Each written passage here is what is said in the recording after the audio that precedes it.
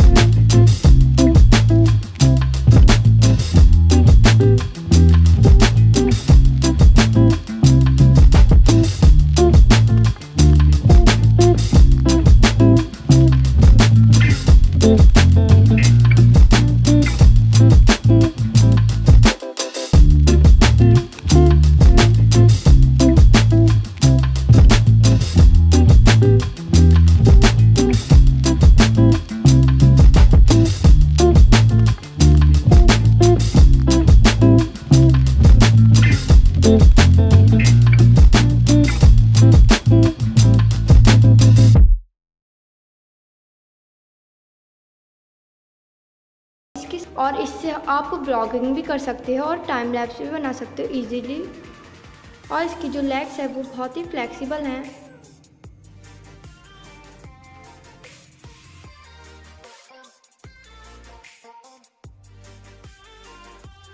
Guys इस tripod की legs flexible है। इस, इसकी वजह से आप इसे कहीं भी हैंग कर सकते हो।